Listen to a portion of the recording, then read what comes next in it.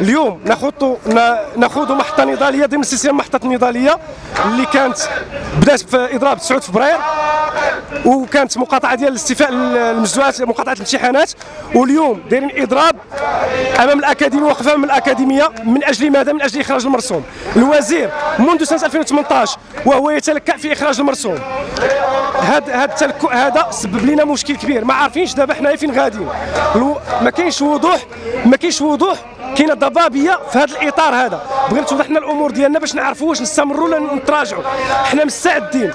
بمحطات نضالية أخرى آخرها ممكن نتنازلوا على هذا على هذا الإطار هذا ونشوف حالنا إلى ما كانش المرسوم.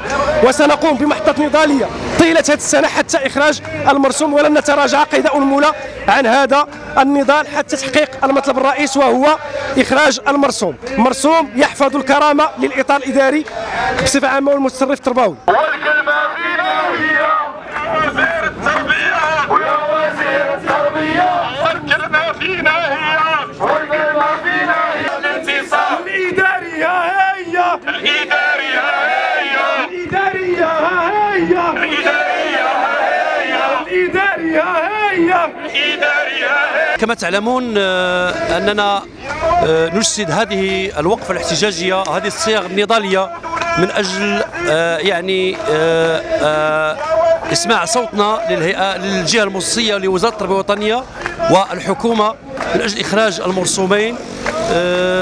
ل يعني جويد ال- ال- المهام والمسؤوليات التي يتحملها الإطار الإداري سواء كان إسناد أو خريج الذين يعتبرون هم يعني الحلقة الأساسية في المنظومة التربوية من أجل تجسيد وتنزيل الإصلاحات آه، الكبرى التي انخرطت فيها بلادنا وهي تجويد المنظومة التربوية في شموليتها.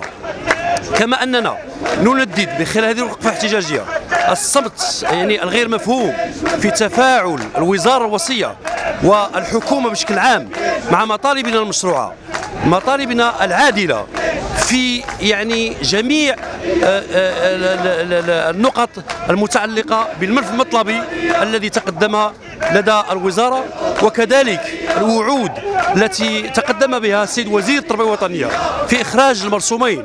ولكن تخلفه عن آه، التزام بهذا الوعد جعل الأطر الإدارية المتدربة تخرج عن صمتها وتحتج بكل قوة وب يعني سلمية وبصياغ حضارية من أجل أننا آه، ندافع عن مطالبنا في علاقته كذلك ب يعني آه، الدفاع عن المدرسة المغربية في شموليتها كقضيه وطنية ثانية بعد القضية الوطنية الأولى.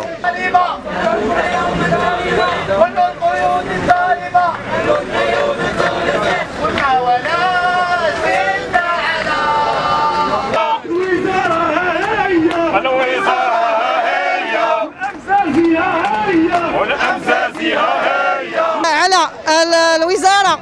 الوصيه والمهتمين آه، والمختصة أن آه، آه، أن تقوم